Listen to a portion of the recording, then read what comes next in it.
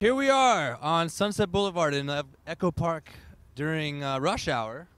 Culture Collide 2010. We're with the Black Atlantic from Netherlands or the Netherlands. The Netherlands. The. Everyone agrees. The Netherlands. How how is it that you got that prefix and there's no the Argentina, the Mexico? I guess the United States maybe, but Yeah, yeah, the United States, because it's I guess because it's multiple lands, it's Netherlands, so maybe it's the Netherlands, because it's like a conglomeration of little dried up pieces of land. do you agree, Kim? Yeah, I mean, I think, and you also have Holland to make Yeah. it more confusing. So Well, f- let's get it straight. Let's get it straight once and for all. To walk us through Holland, Netherlands, the Netherlands. What what is this distinction? you can just use either one. I like it. You can just use either one. Yeah, whichever one you want. Then you Europeans, the, man. The language easy. which we I'm speak. against this. You can use either one. It's the Netherlands. Holland is part of the Netherlands. The the Hollanders, they they love to be separate from the rest of the Netherlands, but they're not. They're they're part of it. They're all God's people, right? It's like Echo Park. Come on, neighborhoods, Los Angeles, right? What's the? Do you know about Echo Park at all? Do you know that it's like it's where the cool people live, the hipsters, the cool music scene. There's cool kids everywhere. There's cool bums walking around. It's the cool place, you know. Is there a cool neighborhood specifically where you guys are from? What ci- what city are you from? Are you all from the same city? We're from like the least. We're from like the least cool part in all of the Groningen is cool. Like yeah, you know, in Groningen we have um We're have this place called cool. Vera, this club, and Nirvana's played there back in the day. Every band has played there. It's like it's only a few hundred people, but um like the pearl and the all the big bands have played there. Like before they got big, and Yeah.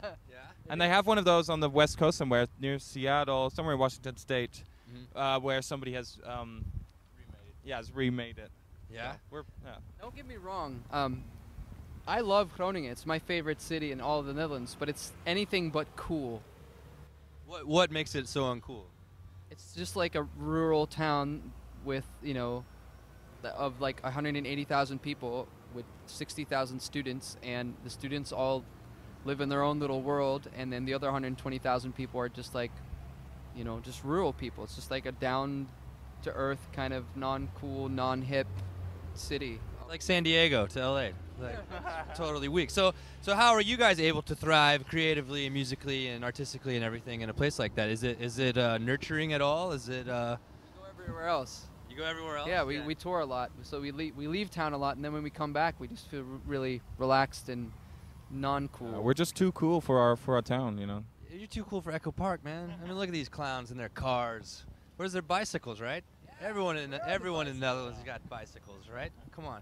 Okay, so we I actually ran into you world traveling us in Germany two weeks ago and caught your set. Incredibly impressed, very floored. It was a it was a early show, right? It was like eight o'clock. But last night you guys played our, our show late, the late night. What, what what time? What hour does the Black Atlantic thrive? Early. Yeah, not at 12 a.m. That was like we did a 24-hour day yesterday after traveling for more than 24 hours. I don't know. That was pretty what, crazy. What was your what was your route to get here? We well, we started in Germany in the studio, then we drove back in the af- late in the afternoon to drop off all of our stuff that we weren't gonna bring, uh, and then uh, took some late night trains back to close to the airport.